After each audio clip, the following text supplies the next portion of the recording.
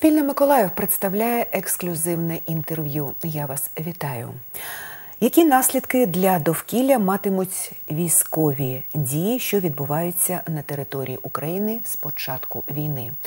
Ми дізнаємось про це у нашої сьогоднішньої гості в студії Інна Тимченко, екологиня, викладачка Національного університету кораблебудування імені адмірала Макарова.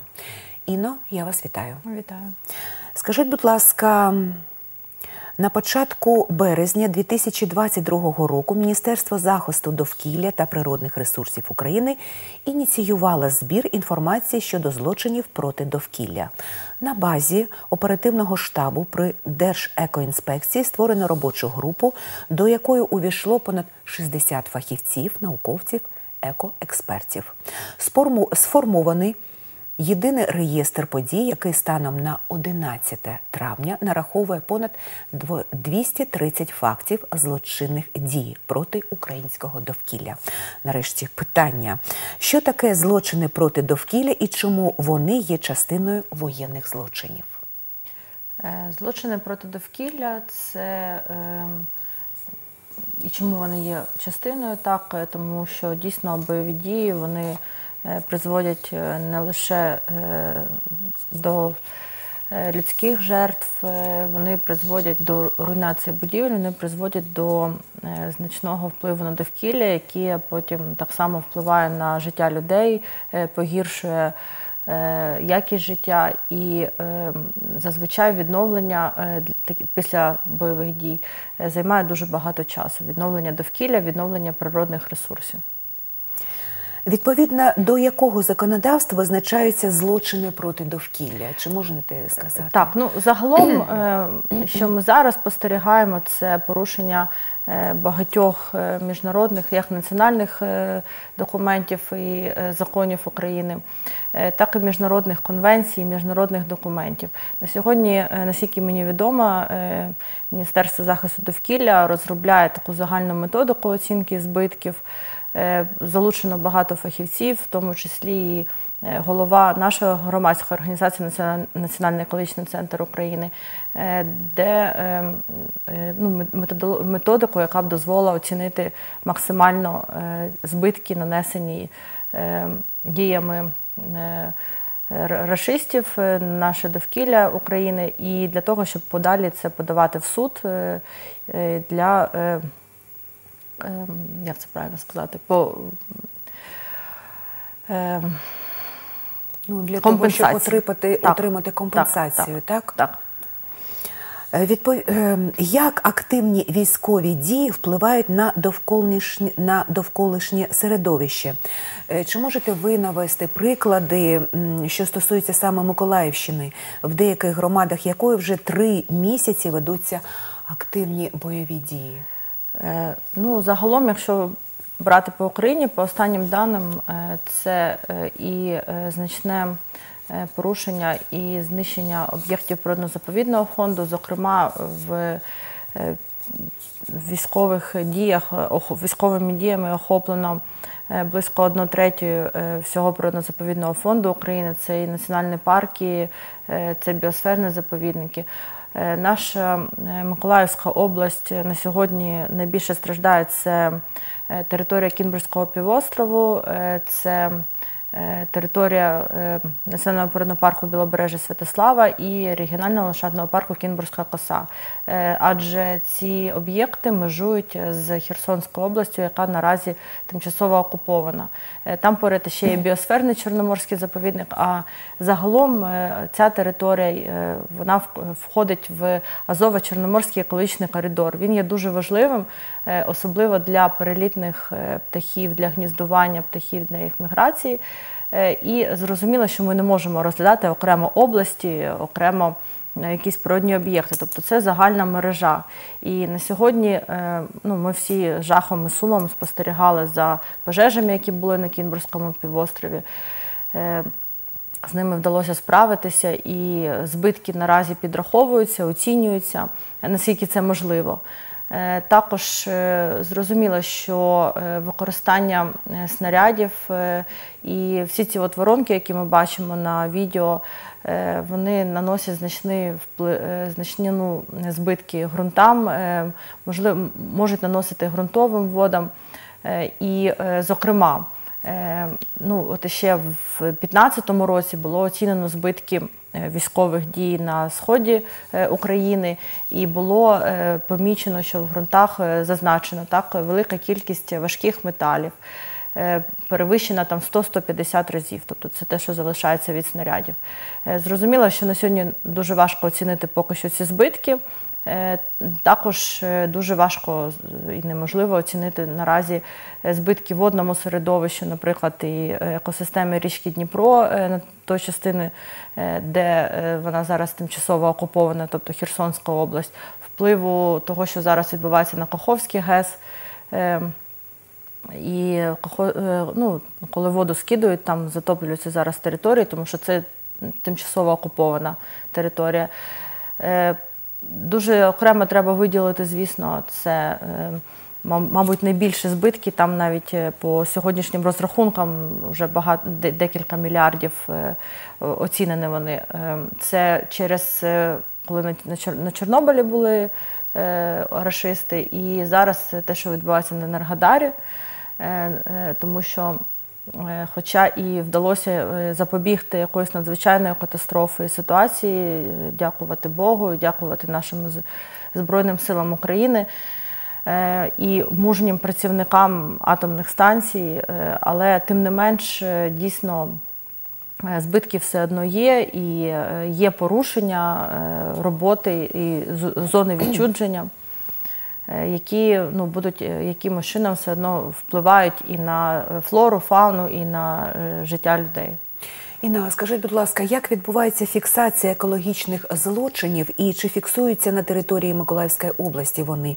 І чи є спеціальні методики, за якими саме фіксуються ці злочини? Ну на сьогодні, от як я вже теж казала, що експерти працюють теж над такими всіма питаннями. На сьогодні і пропонується будь-якої людині взяти участь в фіксації злочинів проти довкілля, е, е, які відбуваються десь поряд з ними, і передавати це за допомогою, здається, там навіть якісь є чат-боти через телеграм-канали, передавати інформацію, фіксувати ці злочини. Також всі. Ем, парки, природні заповідники, всі природні об'єкти вони також працюють, і працівниками парку фіксуються злочини, оцінюються е, збитки. Ну наскільки це можливо. Ем, в принципі, зараз е, всі структури, екологічна інспекція, всі працюють. Тобто, наскільки на тих територіях, де можливо оцінити, вони поступово оцінюються, враховуючи е, ну, Деякі е, збитки можна порахувати, там, наприклад, після пожежі, так і е, за наявними методиками, а деякі потребують, звісно, іншого підходу.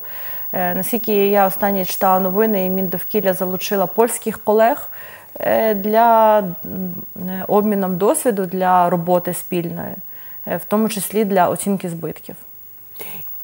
Сьогодні чи можете ви е, точно сказати, які заповідні зони Миколаївщини зазнали шкоди? Е, ну, Національний природний парк Білобережжя Святослава, регіональний ландшафтний парк Кінбурзька коса е, через те, що поряд окупована тимчасова територія. Дякувати Богу і Збройним силам України. Миколаївщина стоїть і. А ще Чорне море, та замінування Чорного моря вже фіксують е, е, загибель дельфінів е, через це, через дії орків і на Чорне море. Знаєте, з одного боку є оцей от вплив бойових дій, з іншого боку, я особисто спостерігаю ті місця, де не ведуться бойові дії, і де звісно, е, немає туристів зараз, е, немає людей менше набагато стало. І там навпаки природа оживає, навіть з'являються, тобто збільшуються популяції видів. Взагалі, я гадаю, що наше довкілля е, унікальне і е, України. Ми, у нас е, дуже біорізноманіття. Вчора, до речі, був день біорізноманіття, Всесвітній день біорізноманіття, і ми обмінювалися різними дописами і думками. І у нас в Україні е, взагалі унікальна природа по різноманіттю екосистем, по е, різним. М, ендемічним видам і територіям, ну то той же саме Бузький да, де знаходяться види, які не представлені ніде більше в світі. І е, загалом. е, Після перемоги природа відновиться, буде залежати і від нас, е, як ми е, зможемо їй дати можливість відновитися.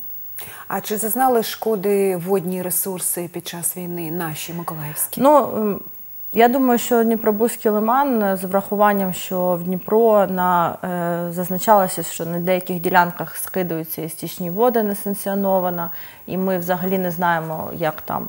е, До кінця, що відбувається, то ну, якщо ми Миколаївську область візьмемо, то зрозуміло, що Дніпро далі впадає в Дніпробузький лиман, і певна шкода теж від того е, є. Е, Також, е, ну, взагалі, Херсонська область, вона там дуже шар, е, ну, багатий шар е, підземних вод, і будь-які бойові дії, потрапляння тих самих важких металів, воно з часом потрапляє в підземні води. Ну, ми не можемо себе ніяк відділяти від Херсонської області. Ми е, єдиний такий південний регіон. І, е, Тут ва- ва- важко, ну можливо, десь немає прямого впливу, але буде непрямий вплив. Інно, скажіть, будь ласка, за яких умов можна буде встановити реальні збитки та вплив на довкілля війни? І чи можливо це буде зробити остаточно? Чи остаточно неможливо зробити?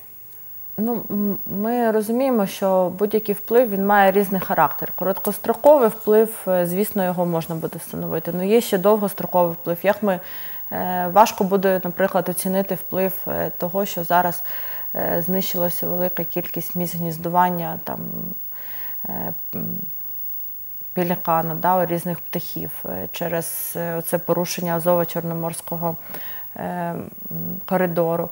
Е, Вплив на Азовське море, що зараз е, через ті жахи, що відбуваються в Маріуполі, е, і так далі. Тобто буде якийсь довгостроковий вплив, який важко буде оцінити. Але в цілому я впевнена, що це можливо після, ну як ми спостерігаємо, після е, деокупації території відбувається поступова оцінка всіх збитків. Тобто фахівці, експерти, екологи будуть оцінювати, звісно, вплив на довкілля.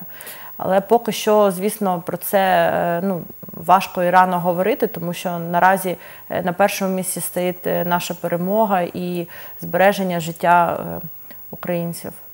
А на вашу думку, чи впливає війна в нашій країні на довкілля всього світу? Звісно, ем, ми ну, єдині в тому, в європейській у нас є європейська е, екологічна мережа. Е, Тобто е, вплив на одній, які, на одній країні європейській, ну, це вплив буде е, відчутен всій Європі. Це ми навіть, якщо ми говоримо про якісь аварійні ситуації на промислових підприємствах, на можливі ризики на атомних станціях. Тобто, все це, це безумовно, ми це всі розуміємо. Е, Але навіть вплив на ті самі флору і фауну, на природно-заповідні об'єкти е, дуже сильно е, вплине і на наші сусідні держави. А чи може, на ваш погляд, Україна використати досвід післявоєнного відновлення інших країн, щоб пришвидшити процес? Так, і е, дуже я, е, ну, я би так сказала, це позитивним е, є те, що не чекають, не, не очікують. Зараз всі працюють, і екологи залучають міжнародних експертів і працюють над цими всіми питаннями і над відновленням, де це можливо, звісно. І працюють над оцінкою збитків. Тобто зараз вже вся ця робота ведеться. Зараз е, ця робота ведеться, але про неї поки що рано говорити, так? Ну, про результати, звісно, Про результати. говорити рано, так, але знову таки, будь-яка е, частина, будь-яка екосистема, вона найбільш е, е, якісно і краще відновлюється, е, коли її. Потім їй просто дають цю можливість, тому що здатність до відновлення наших природних екосистем, ну загалом природних екосистем, дуже висока. Ну, будемо сподіватися, що все ж таки наше навколишнє середовище, якщо і страждає, то потім буде мати сили, щоб відновитись, так? Так, звісно. Інно, я вам вдячна за участь в нашій програмі. Сьогодні нашою гостею в студії була Інна Тимченко, екологиня, викладачка Національного університету кораблебудування імені адмірала Макарова. Нашу програму завершено. На все добре.